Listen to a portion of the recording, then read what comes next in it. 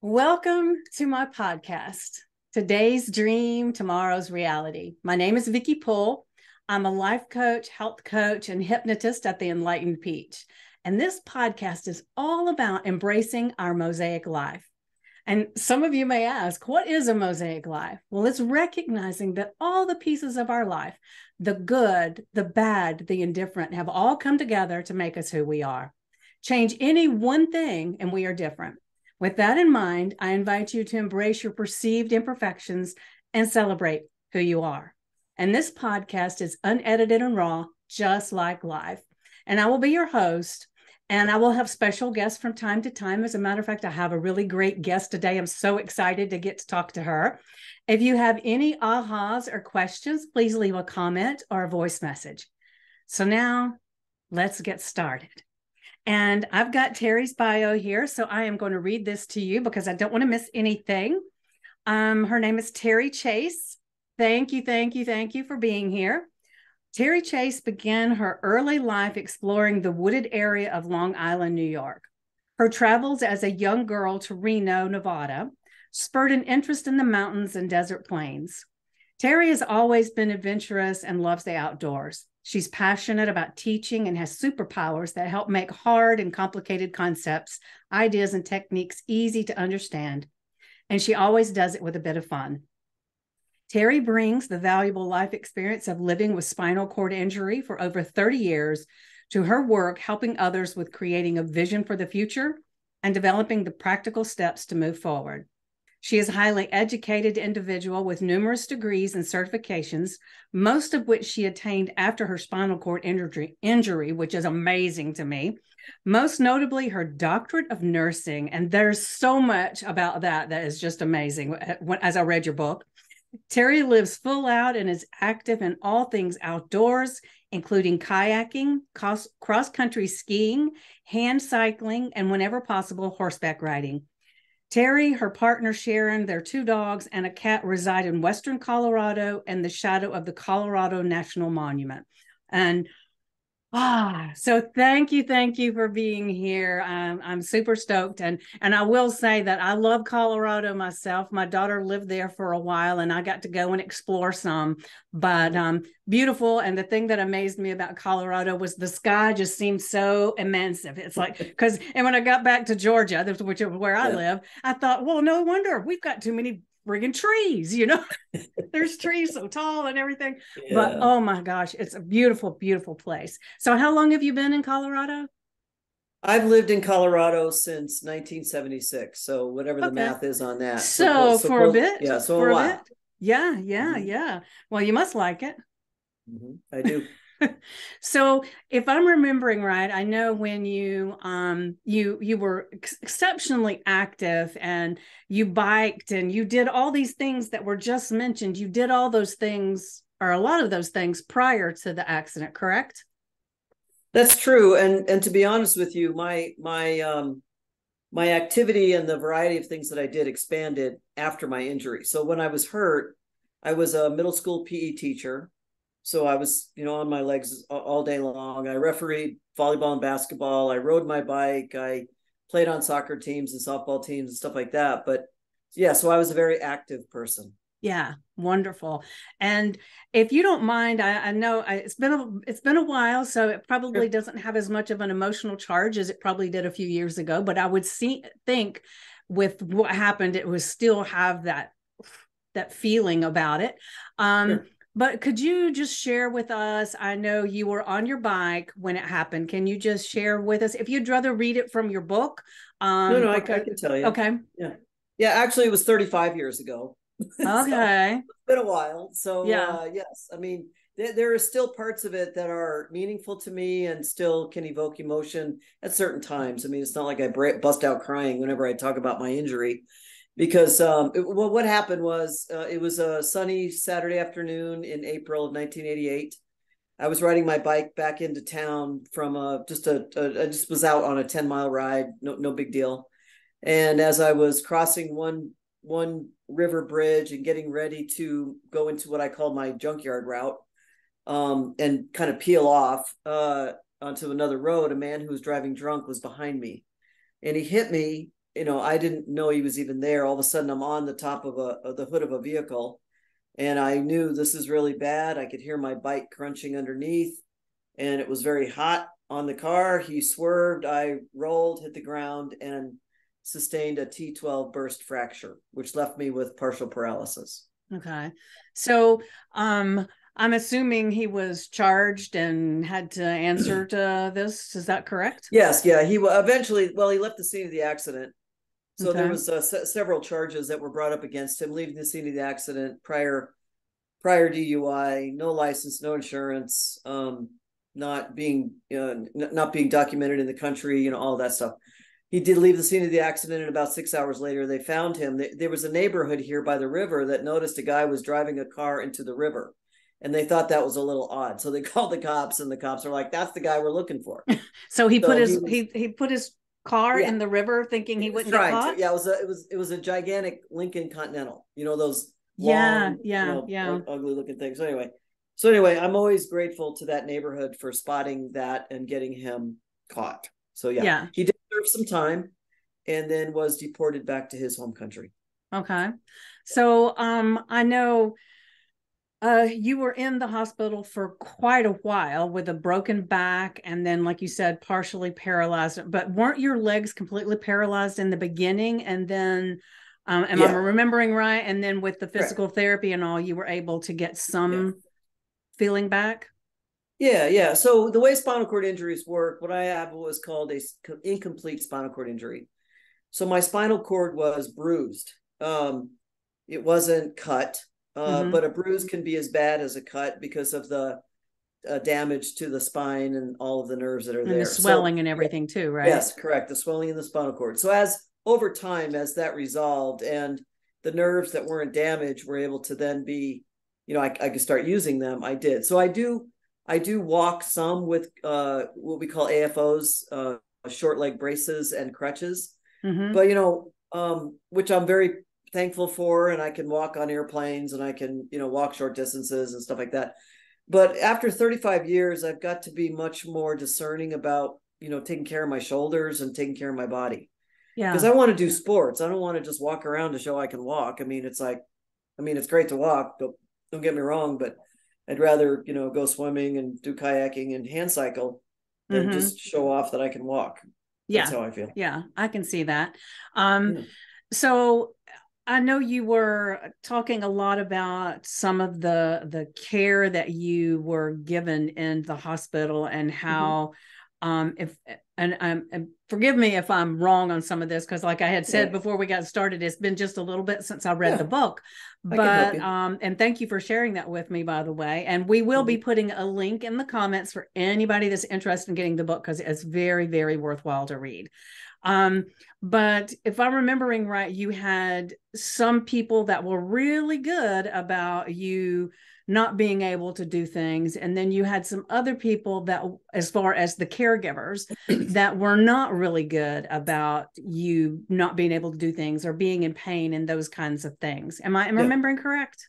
Yeah i mean i i did so so my book is called spoke by spoke how a broken back and a broken bike led to a wholehearted life and it's a series of stories of my experience of going through the last you know m- many years of spinal cord injury in and I wrote these stories in hopes that they would help others. Right. And not not in the sense of, hey, if I can do it, you can do it. Not that.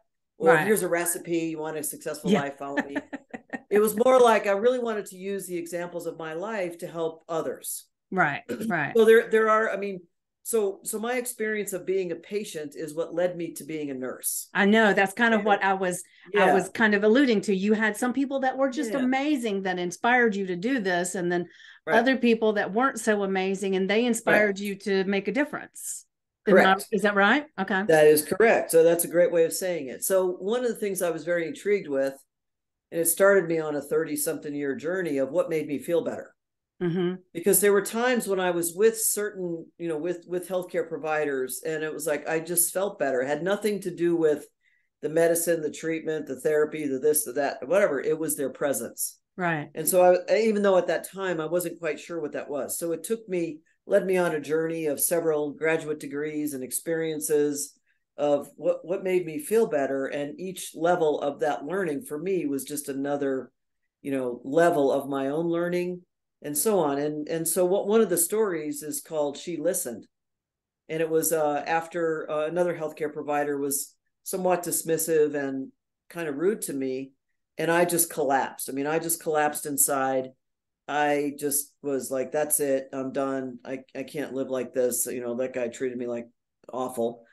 And so a nurse came in and she's like you know you that's not you. What's going on? And I mean, it wasn't that quick. It took a little bit for her to get it out of me, but basically, I told her what happened, and that she just listened. I mean, she just sat and listened, and then she said, "Okay, all right, well, let's let's get you out of your chair and get you into bed, and we've got fried chicken and mashed potatoes in the kitchen. I'll bring you some." So, you know that that was that was a healing moment that was so impactful for me that it was like, yes, that's that's that, I'm getting closer. That's what I want to do. I mm-hmm. want to be that healing presence for people. Yeah.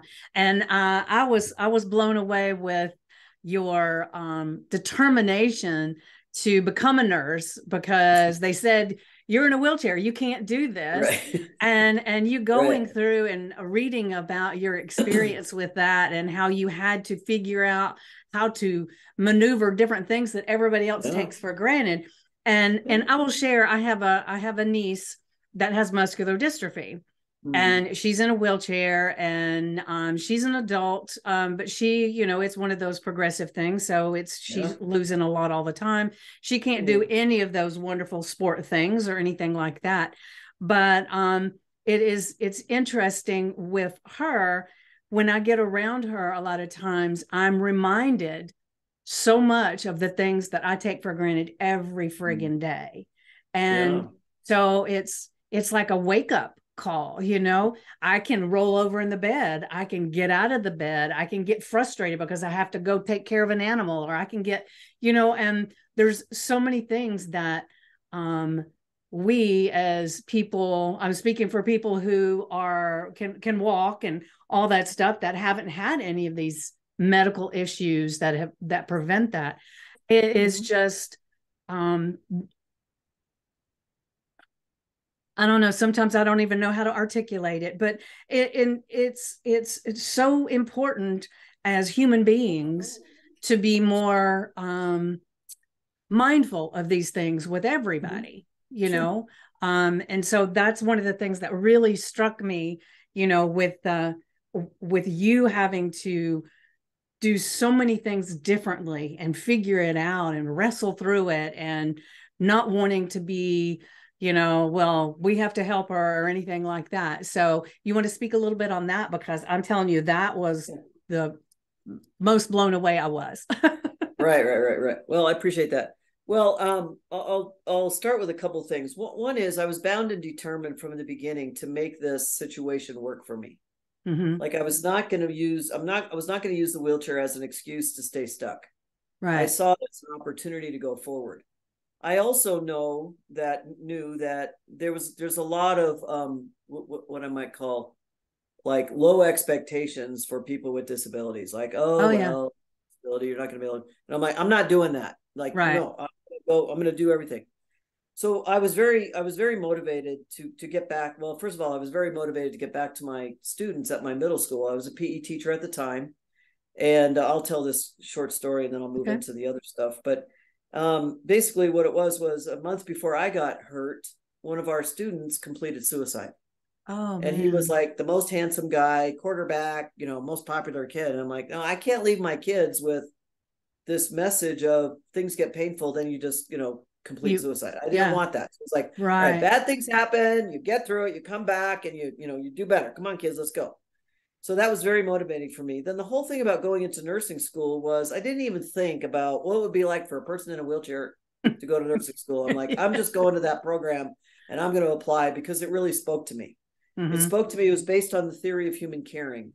And anyone who's in nursing knows about Jean Watson and her theory of human caring. And it's it came it came really close to what I was looking for, what made me feel better so i you know i just in my chapter in my book is called flinging forward because honestly i just like okay i'm going to apply to nursing school i didn't even think about it i'm just going to go and then they didn't accept me the first time and i i just came right back at them and said you know was it my disability and they're like backpedaling no it's not your disability i'm like okay well then what was it so uh, without them really saying it it was my disability. So anyway, Right, so it right. was also probably my my application could have read better. You know, like something like I want to be a nurse. But Yeah. you know, anyway, you know, stuff like that. So I did get some I did get some um some help with that and I improved my I improved my essays and said yes I want to be a nurse and articulated what I was really feeling inside which was what made me feel better. I think it's this. Maybe it's that theory of human caring. I want to help people. So that's what happened. And so then the experience of being a student was challenging because you know there's that big spotlight on me like okay you're in a wheelchair are you going to be able to do this okay? And you know i was not the weakest person in my class i'll tell you that even though i had half paralyzed legs. So i had to have a little discussion with the faculty about take the spotlight off me. You know i will not be unsafe. I will ask for help. I will problem solve. But take that spotlight off me because that's not that's not right. Yeah. and so they did and uh, we got through it. But then you know there were nurses along the way as as all nursing students experience you know kind of like nurses who don't really want to deal with students but uh, they're behind me saying things out loud like how could she ever be a nurse? She's in a wheelchair. And i'm like well they're kind of dumb because i can still hear what they're saying. You know that kind of stuff. Yes. but anyway um but the end there were very there were very great faculty and very great clinical fact you know clinical um nurses who helped me i never had one patient say get her out of here. She's in a wheelchair.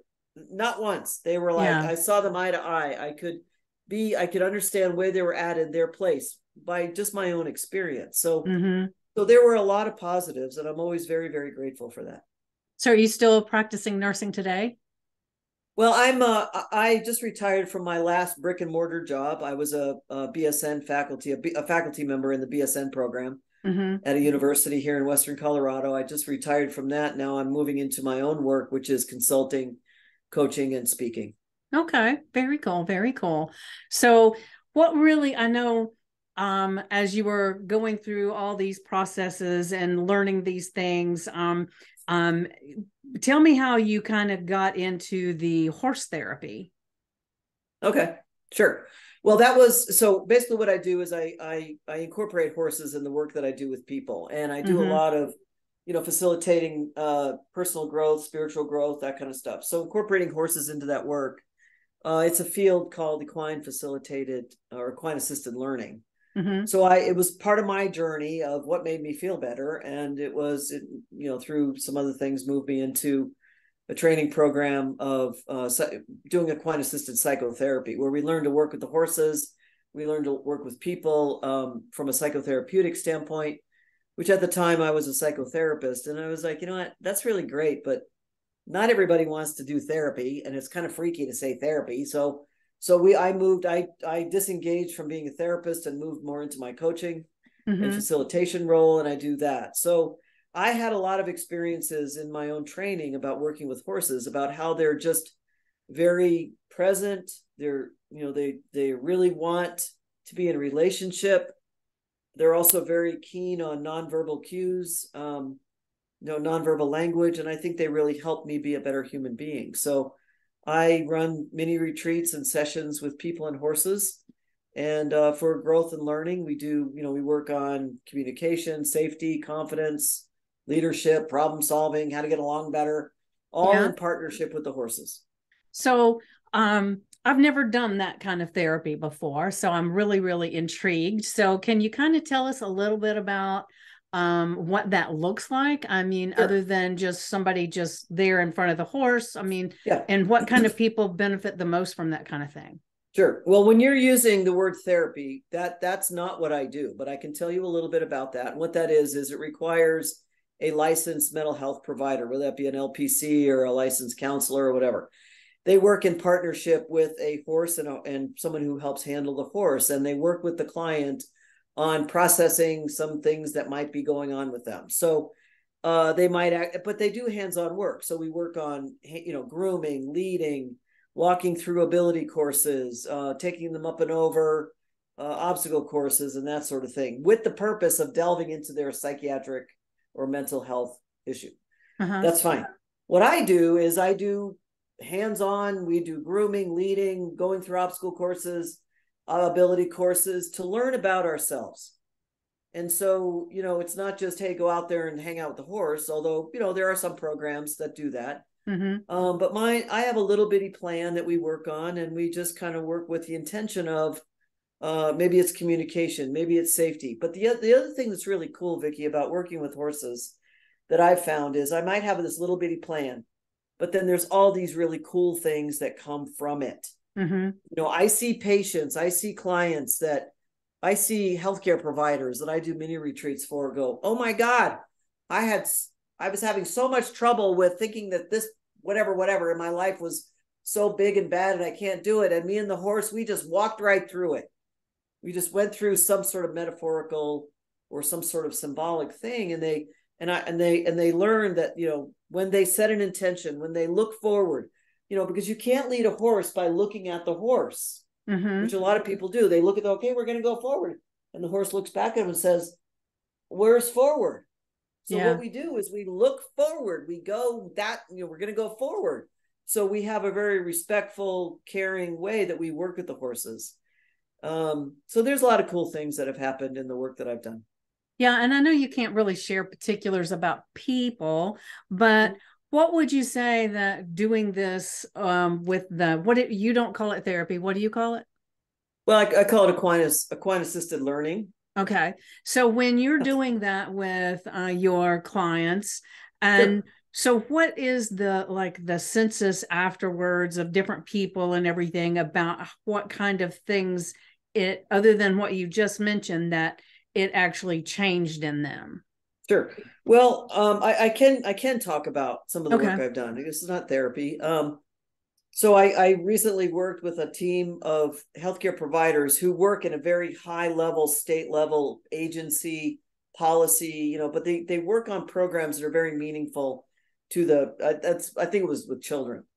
So this group the group of six uh, hadn't met together live in person for two years because of COVID.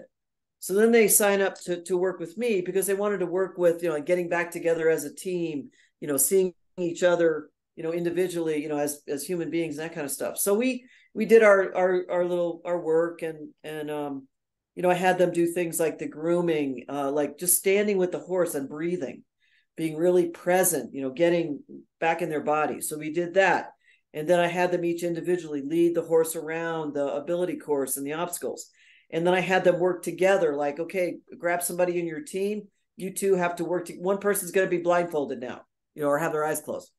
And then, and then at the end of all that, they had their first live team meeting in the middle of the arena with all the horses. Oh wow! And I and I and I couldn't get to them because of the setup. I couldn't be out in the dirt with them, but I'm watching them going, wow, that looks really cool. And then they all came. Uh, I said, come over here and tell me what's going on. Well, we just had our first live in-person meeting, and I'm like, oh my god, how how cool is that? And how did it go? Oh, it's great. We're you know, too bad we can't bring the horses every time we want to have a meeting, but we just feel so much better about ourselves. They they they wake up, they feel more enlivened. Um, they're breathing, they're back in their bodies, they're clear-headed. So that does that give you some idea? Yeah yeah that's pretty cool. So i'm uh, i'm assuming that um we'll be having a link or something for people yes. to be able to sign up for something like that because that does sound amazing.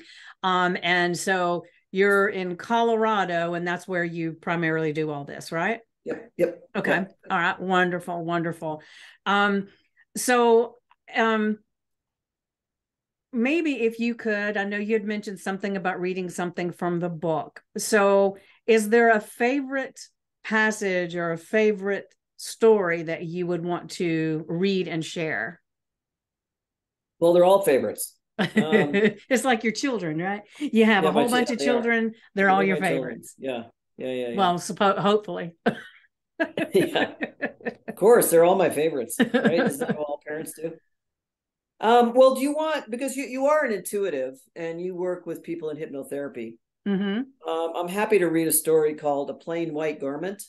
That's fine. Yeah, and that's uh, I don't know if you remember that, but that was um, that to me has a lot of uh, spirituality in it. Uh, and let me see how many pages. So, a plain white garment. Let me just make sure it's not too long.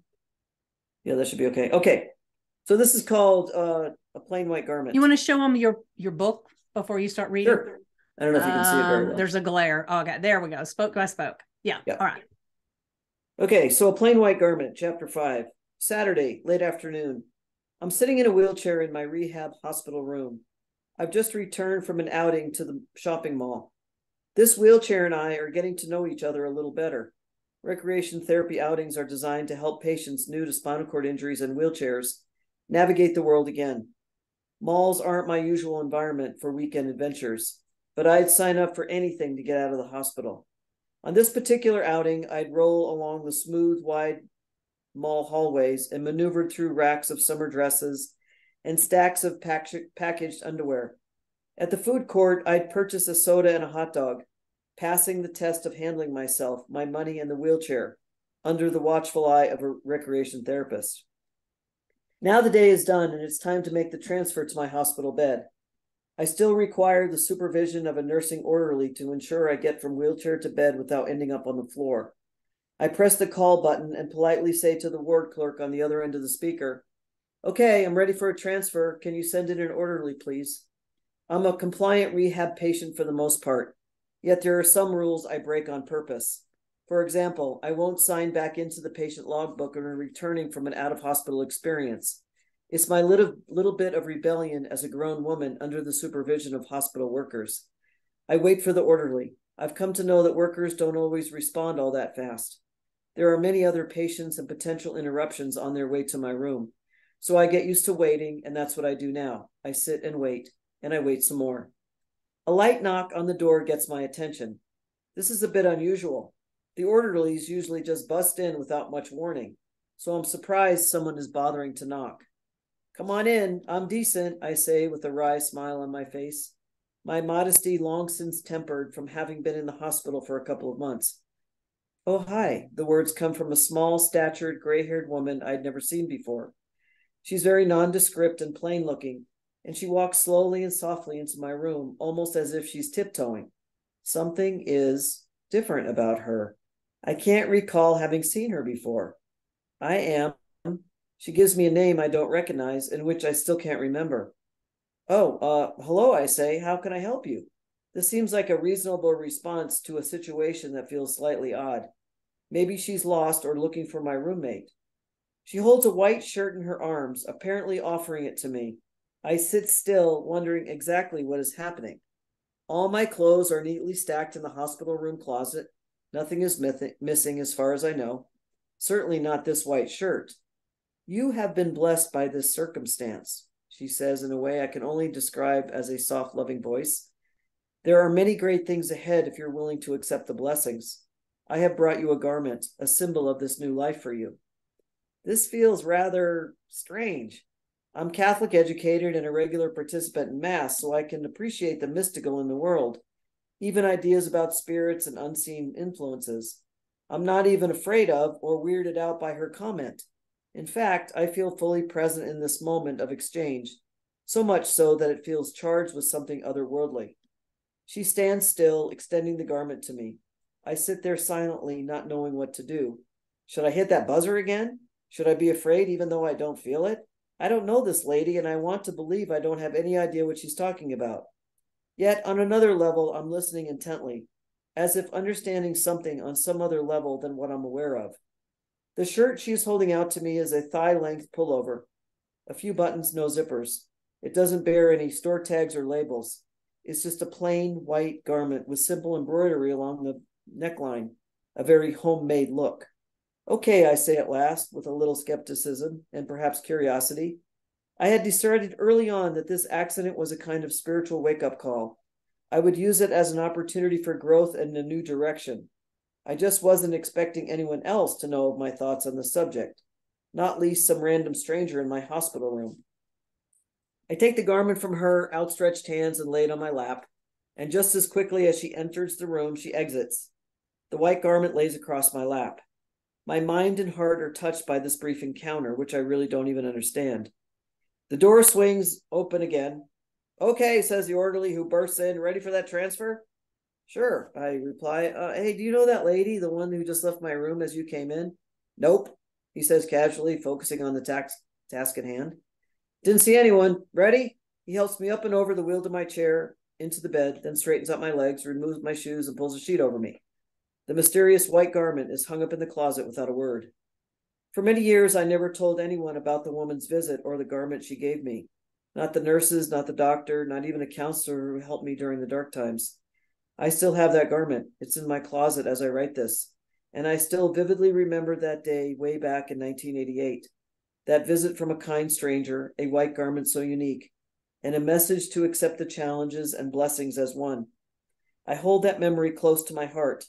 Maybe the lady was an angel or some other type of spiritual being, or maybe she was just someone with a kind nature who randomly walked into hospital rooms and handed out white shirts. Hmm. I don't know. But I do agree with her that my spinal cord injury and my sudden change in life direction held blessings I could never have imagined.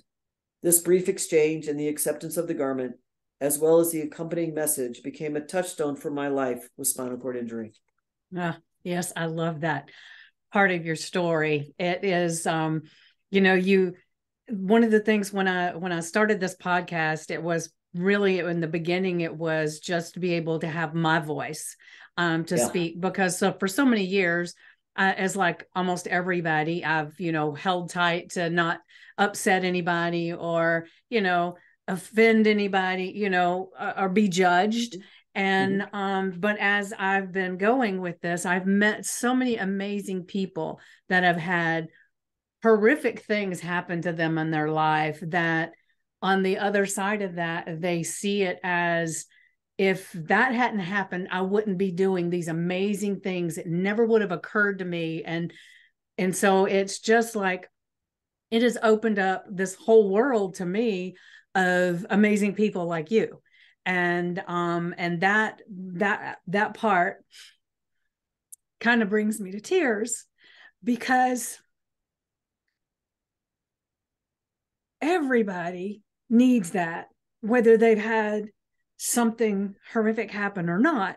And and it's really cool when you share this story and it makes me feel like there's that presence for me even though I don't see this person with the shirt. You know what I'm mm. saying? And yeah. um so and I can't believe I'm crying about this. People cry with, with me all the time. It's okay. Yeah, yeah, but um that story just and I'm so glad you picked that one out to read because mm. I cried when I read it when I read your book. And um and there was a few other little places that um brought me to tears, but it's um being able to take something that has happened to you that so many people just give up on life and to be able to be that person that takes it and makes it something amazing and you know um, from what i've read in your book and everything and from talking to you i feel like you have led such an extraordinary life before but especially after um, mm-hmm. all of this that happened and do you ever um, and this may be a silly question. I don't know. Do you ever sit back and think, I wish this hadn't happened? Where would my life be like today? No, well, you know, I do think about it sometimes. I mean, I, I do miss climbing mountains. I do miss taking students to the to the wilderness and all that that I used to do. Um, but I found other ways to satisfy that. And mm-hmm. I, I, have thought, I mean, I do think about it once in a while, but you know, I was really pretty bored as a PE teacher. Yeah. I was bored and I didn't know really what to do. I was not really in any significant relationships. I was playing the field. I didn't really feel like I had a purpose in my life. So I think what for me this injury did was kind of shake the shit out of me and and wake me up and go okay. I mean, and it's not like I've been awake every day since, you know, right, right. Yeah. I fall back asleep as all of us do, and I have to get like shaken awake again. Yeah, yeah. Um, but really, like it, weight it, loss, it, you you lose it, you get it back. You lose it, you get it. Back. Right, but I, I I have a taste of what it's like to be awake, mm-hmm. and I will continue to work on being awake. And I, I'm I'm very um awake to the fact that you know I'm now 67 years old, and I have I still have more I want to do with my life, and I can't wait. I don't want to waste time. I don't want to just like flub around and all. And I really want to take care of me so that I can be in service to others. Right. And bring and bring and bring my presence to others. Now, it doesn't mean I have all the answers. That I don't that's not it. It's that I know I know what the power of being present for others does did for me and and how I can maybe assist others in coming back to themselves. Right. See, that's that's really what I work with is when you talk about this, you know, people give up on life, it's like, well, I think it's because they've lost touch with themselves. Yeah. It's like, let's get back to that that spirit. Let's get back to that energy. Let's get back to that childlike curiosity with the world. Mm-hmm. Well, what I find um, sometimes um, is that the reason that people, um, and I'm not saying it generally all people, but just the, a few people that I have met and worked with and everything, some of them don't want to feel the here and now because they're not happy with who they are or mm-hmm. what they they think they haven't done right or you know all these different perceptions that people gather from the people around them and from their mm-hmm. childhood mm-hmm. and those times those people really have a hard time i mean digging in to to look at anything about themselves and being in the present moment you know? And it's um it's one of those things like um, I, I, really have to work with some people to even give them get them to give you answers that aren't on the just on the surface you know? They don't want to cry. They don't want to get upset. They don't want to think and feel you know? It's like just let me be you know yeah, kind right. of thing. Do, do, yeah. you, do you find that too yeah yeah and i think that's one of the cool things about the horses is that you know what they're really present. Mm-hmm. and if we're faking it the horses are like oh that doesn't feel very safe. And so and, and i've sort of like assumed some of this horse energy because you know it's like well you know you can tell me you're happy and everything's great and okay is it real? I mean i don't know is it? Um, but i yeah. get a sense that maybe something's not really yeah. right there. I mean what, what would you like to be different? So anyway yeah yeah yeah. it. Yeah so um, is there something in particular that um, you would like to share with everybody maybe it's something that's not in your book that's sure. something that feels like it might be just the the bridge for someone to um mm. to move somewhere in their life sure. yeah wow that's a lot I I might have to write a whole other book on that. Um, I, I, think I book think two. one of the things that I yeah, yeah I think one of the things that I do with people is I, I I think one of my superpowers that I feel like I can help people with is I really I really help with making complex things not so scary. Mm-hmm. Um. Uh. You know, explain that can, a little bit because technically yeah. that sounds wonderful, but okay, um, okay. Well, let, let, okay. For one, one, this is a very Okay. This is a very concrete example. Okay. when I was in the hospital teaching, because I worked, I eventually, as I went through my nursing program, I was hired by Craig Hospital where I did my rehab. I was hired by them uh, to run the patient and family education program, which is a big deal because mm-hmm. people with catastrophic injuries and their families have to learn a lot about themselves, their care, and all that so they can be out in the world. So one of my classes was um, bowel management. And that's kind of self-explanatory. Mm-hmm. It's about how our system works to digest our food and process elimination. Well, there's something called peristaltic action. That you know, that's the that's the wave-like movement that gets things through our system. Well, after spinal cord injury, that slows way down.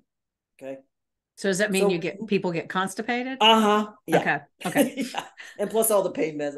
Yeah. So, you know, nurses and doctors are notorious for using big words, and the patient's like, okay, they have no clue what they're saying. So, what I did in my class is I brought a slinky. And I brought a slinky and I, I used a slinky to demonstrate, and I even gave it to patients, you know, just, this is what peristaltic action is. Also, I brought a 30 foot long rope. And I said, so when you swallow something, it has to travel. And I, I would give the, I would I would give the end to someone of the rope. of the rope, and okay. I would, as I said, you you you chew it, it's going to your stomach, it's going to your small intestine, large intestine, out. And pretty soon, I would I was the end. I was where it came out, the poop, the poop end. and I said, so what I want you to get is that this peristaltic action really slows down. Plus, it's you know, whatever you take in, it's got to go thirty feet. And it was like, wow. Then they got it. So that that's one example. Okay, that's a very concrete mm-hmm. example. But I think another way that I work with people is helping understand this whole process of we take a lot of information in. People read a lot of books, self-help books, they listen to podcasts, but then they don't do anything with it. Right. So there's no change. Right. So one of the things I do, another superpower is okay, well, let's get experiential. Let's try it out. Let's let's put one little thing, one little thing into action so that you can work on transformation. Right. Because information is all around us. Right. We don't take it in, but we take it in, but we don't do anything with it. So that would be one of one of the things I do with people is let's let's try one little thing. I work a lot with using um, the the science of well-being, mm-hmm. which is you know has its roots in positive psychology and authentic happiness and all that. But there there's one little there's a couple there's many many practices in science of well-being, but one of them is around um, what went well, because mm-hmm. people always want to talk about oh it didn't go well, I sucked. I'm like okay stop yeah. Every day, every day, you've got to come up with what went well today and why.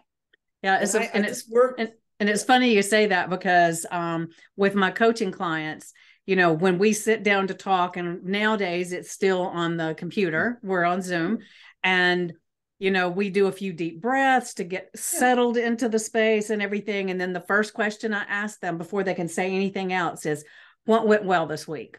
and then yeah. you know and then we make a note yeah. of it and the funny thing to me is well, sometimes they'll say well you know i don't know i can only think of one thing and then we keep talking and then suddenly say you know now remember this thing happened good too and this thing yeah. happened and it's just people don't even sometimes recognize it in their lives because they're right. so focused on what went wrong yeah so yeah yeah it's pretty so, cool so thing one, to take yeah, so through. it's one little piece like that and a few other things so yeah so yeah, I mean, so what I do when I work with people is um, I break it down. I make it, I make the complex not so scary. You know, we we work on one little piece, one little bite size, you know, three percent thing, three percent thing you can do, you know, whatever. So yeah, yeah. Well, that's wonderful. So, um, why don't we, um, because we're we're close to being at time. So, um, one of the things that I would like to ask you about before we we go forward, because I, I, was thinking, because I don't really know what hand cycling is. Um, so I know what cycling is, but so what is yeah. hand cycling? So hand cycling is when I pedal with my arms. Okay. And, so um, does that is that a different kind of bike that allows you to do well, that? Or are you laying down or what is it? Well, there, there are different iterations of it. Mine, okay. I'm, I'm, I'm, I'm down low. Have you have you seen recumbent bikes? Yeah, my sister has one. Sitting and pedaling with their with their legs. Mm-hmm. Well, basically, it's about that size. Most of the time, has three wheels because it's right. kind of hard to hold your balance. Right. And so, yeah, so it's it, and there's there's several different brands, and I uh down in Georgia, you know, there's a really great rehab center called Shepherd Center. Mm-hmm in, in Atlanta, and I know they have a really strong recreation therapy department. Mm-hmm. And I would guess they have lots of good folks out in the community that are doing hand cycling. Okay, because I, I haven't seen it, but it, you know, um, it, it, you know, it's kind of like you know how we um, we go through life and we don't notice all kinds of things, but yeah. now that you've mentioned it, I'm going to see them on every corner. You know, that's right. Please do, yeah. So that's pretty cool. So Ah, this has been really amazing. I have enjoyed it and I look forward to having more conversations with you at some point. I would love to pick your brain about some other things. And when you do book two, we definitely have to talk about that.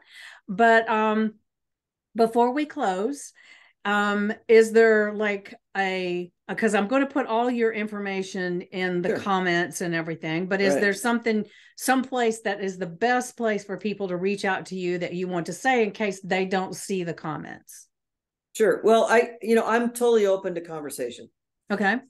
Okay. And, and if people want to contact me through my email, which is Terry, T E R R Y at drterrychase.com, dr terrychase.com you know, just just send me a quick note. Tell me, you know, let me know that they've saw, seen you on the podcast, and we'll we'll get a conversation or two lined up. Just to, I like to hear what's going on with people. Right, I mean, right. I'm, I'm really not a, I'm not a marketer, salesy. kind. I just really like to be in a relationship and and find out what's going on with folks, and if there's any way I can be of service, then let's check it out.